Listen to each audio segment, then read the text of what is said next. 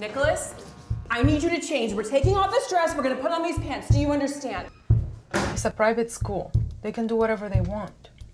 He needs to learn how to follow rules, Not if the rules are asinine. especially if the rules are asinine. There's nowhere else for him to go. I don't care.